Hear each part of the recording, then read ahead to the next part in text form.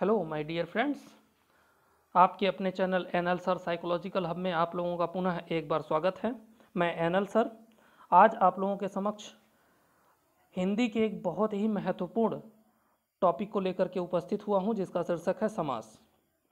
तो दोस्तों, समास एक ऐसा टॉपिक होता है जो हर एक एग्ज़ाम में चाहे वो टीचिंग एग्ज़ाम का कोई भी पोर्शन हो, आप सी टेट ले लीजिए K V S P R T ले लीजिए टी जी टी ले लीजिए, हर एक एग्ज़ाम में जिसमें भी हिंदी पूछा जाता है, उसमें आपका समाज से एक या दो क्वेश्चन हंड्रेड परसेंट रहता ही रहता है। और even B H U M Ed entrance की अगर आप तैयारी कर रहे हैं तो उसमें भी दोस्तों एक या दो क्वेश्चन समाज से रहता है और उसमें डायरेक्ट क्वेश्चन रहता है। आपको उसमें कुछ नहीं करना होता है। आपको केवल एक बार देख करके उसको समझ लेना होता है कि कौन सा समास है। इसमें कौन सा समास है और उसका डायरेक्टली आपको आंसर कर देना होता है कि इसमें द्वंद समास है कि द्विगु समास है, बहुब्री है, कर्मधारा है, कौन सा समास है। ओके चलिए स्टार्ट करते हैं। अगर आप लोगों को मेरा यह प्रयास अच्छा लग रहा हो तो प्लीज़ लाइक शेयर कमेंट करना ना भूलें। और जितना ज़्यादा से ज़्यादा लोगों के साथ आप इसको शेयर कर सकते हैं, उसका शेयर करें। सब्सक्राइब करें अगर आप लोग चैनल पर नए हैं। चलिए, देर ना करते हुए आगे बढ़ते हैं। तो दोस्तों, सबसे पहले देख लेते हैं कि समाज किसे कहते हैं। समाज का मतलब होता है संक्षेपीकरण। यहाँ से एक क्वेश्चन उड़ जाता है। प्रीवियस ईयर का अगर आप बी एच एंट्रेंस का क्वेश्चन पेपर देखेंगे और आप सी टेट का देख लेंगे यूपी टेट का देख लेंगे तो उसमें से एक क्वेश्चन आया हुआ है। बदल बदल करके स्वरूप थोड़ा सा बदल देता है, लेकिन क्वेश्चन का नेचर यही होता है कि समास का अर्थ होता है। समास का अर्थ होता है। अब पहला ऑप्शन दे दिया है संक्षेपीकरण, दूसरा ऑप्शन दे दिया है विभक्तिकरण, तीसरा दे दिया है युग्मीकरण और चौथा दे दिया इनमें से कोई नहीं। तो दोस्तों, इसका आंसर क्या सही होगा? इसका डायरेक्ट आंसर सही होगा इसका संक्षेपीकरण, यानी पहला ऑप्शन इसका सही हो जाएगा। तो दोस्तों, समास को और क्या कहते हैं? जब दो या दो से अधिक पदों के मध्य विभक्ति चिन्हों, चिन्ह अथवा योजक पदों को हटाकर, जो विभक्ति चिन्ह होते हैं या योजक पद होते हैं, उनको हटाकर कोई संक्षिप्त पद बनाया जाता है तो उसे समास कहते हैं। चलिए देखते हैं समास कितने प्रकार का होता है और उनको कैसे हम पहचानते हैं। समास मुख्यतः दोस्तों छः प्रकार का होता है। छः प्रकार का होता है जिसमें पहला अगर देखें क्रम वाइज देख लें या फिर कोई इसका सीक्वेंस नहीं होता है, लेकिन देख लेते हैं, द्वंद समास, कर्मधारय समास, अव्ययी भाव समास बहुब्रीय समास, द्विगु समास और तत्पुरुष समास। दोस्तों एक एक को हम देखते जाएँगे कि द्वंद समास को हम कहते क्या हैं, उसके एग्जाम्पल्स क्या हैं, इसके बाद फिर रिटर्न आ करके हम लास्ट में आपको एक जगह सारी इसी वाली स्लाइड पर आ करके आपको पूरी ट्रिक एक जगह बता देंगे।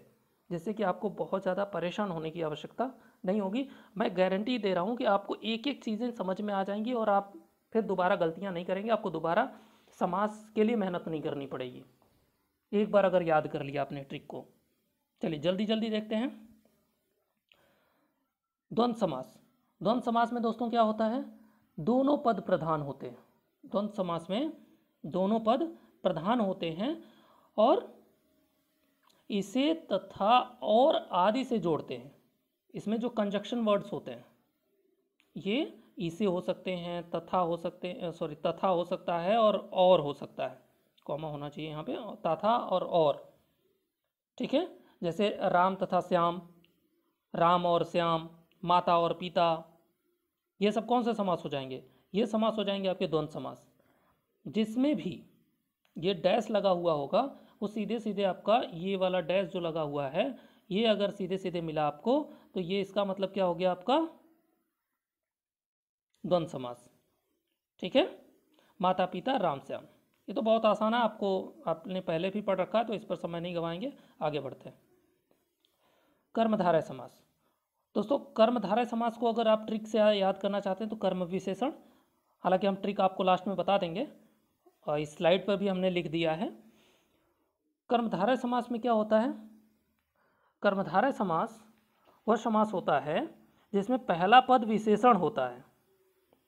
पहला पद विशेषण होता है, तथा दूसरा पद विशेष से होता है, या संज्ञा होता है। पहला पद विशेषण होता है, और दूसरा पद विशेष या संज्ञा होता है। और इसका एग्ज़ाम्पल अगर देखें तो नीलांबर, यानी जब भी आपके दिमाग में आए कि कोई एक ऐसा शब्द है जो जिसका उसका जिससे कोई दूसरा अर्थ निकल करके आ रहा है और वो शब्द जो है दूसरे शब्द की विशेषता को बता रहा है तो वहाँ पर क्या हो जाएगा? सीधे सीधे आपका कर्मधारय समास हो जाएगा। यानी नीलांबर, नीला है अंबर। नीला है जो अंबर, यानी आकाश क्या है? नीला है। महापुरुष, महान है जो पुरुष। सीधे सीधे है कि एक शब्द जो है, दूसरे शब्द की विशेषता को बता रहा है। और दूसरा जो पद है, वो संज्ञा विशेष या संज्ञा है? लाल मणि लाल है जो मणि मणि क्या है? संज्ञा है।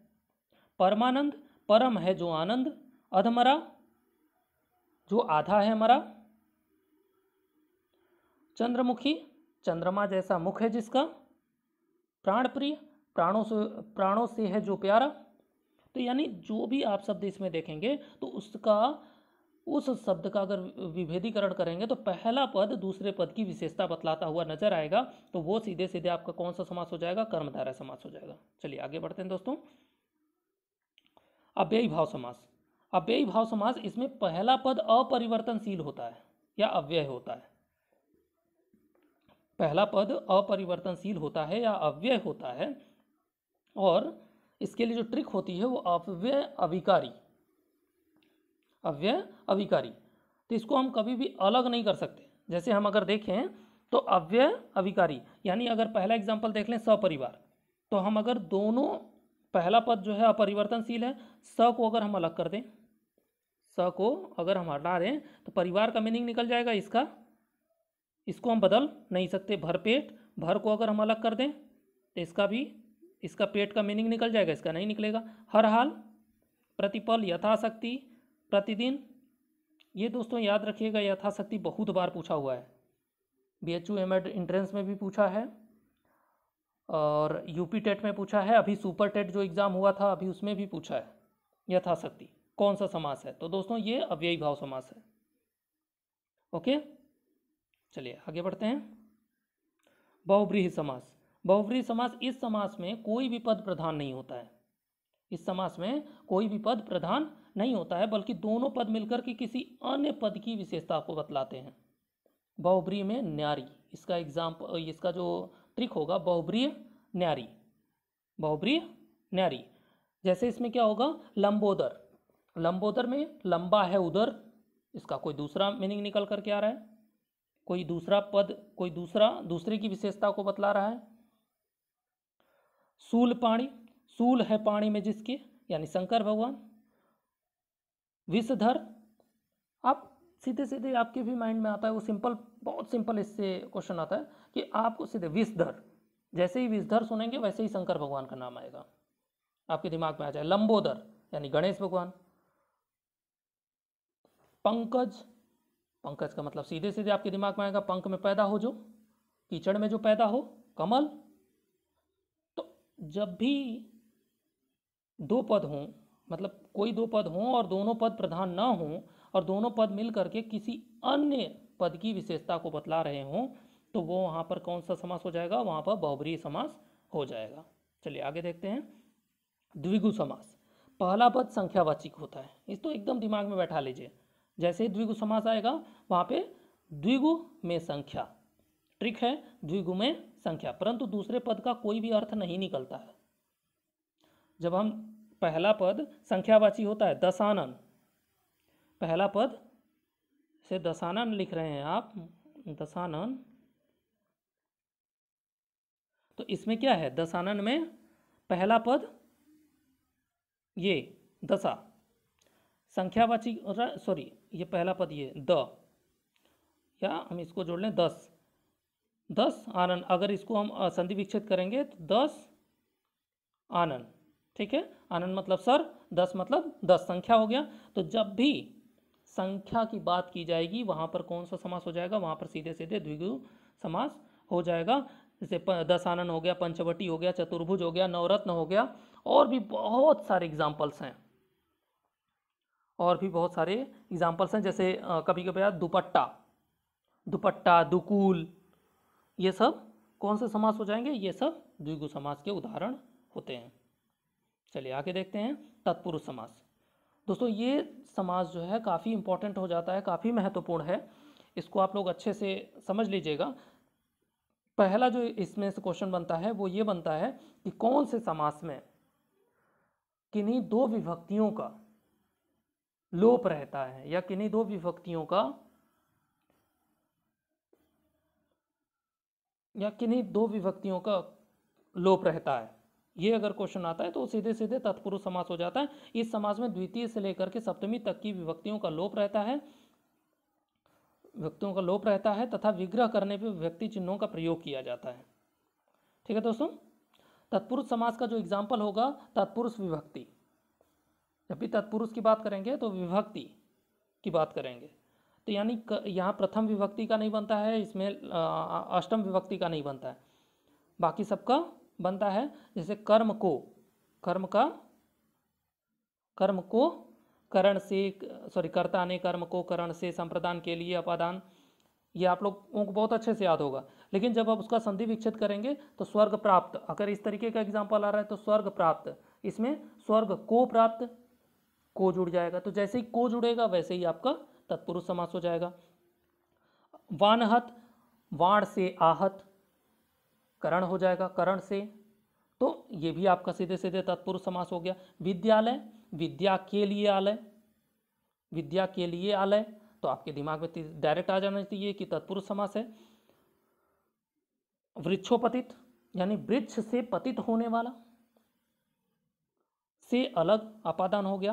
का की कर, संबंध का का की कर होता है। राजपुत्र, राजा का पुत्र तो राजा का पुत्र जैसे ही आएगा, वैसे ही आपका तत्पुरुष समास हो जाएगा। मे पर ऊपर अधिकरण समास वनवास, यानी वन में वास करने करने वाला, वो आपका कौन सा हो जाएगा? वो आपका तत्पुरुष समास हो जाएगा। चलिए, फिर से चलते हैं पहली स्लाइड पर। फटाफट हम ट्रिक को एक साथ केवल देख लेते हैं। एक एक एग्ज़ाम्पल लेंगे और आगे बढ़ेंगे। पहला समास है दोस्तों, द्वंद्व समास। द्वंद्व समास में क्या होता है? द्वंद्व में दोनों, यानी दोनों पद प्रधान होंगे, जैसे राम लक्ष्मण राम सीता,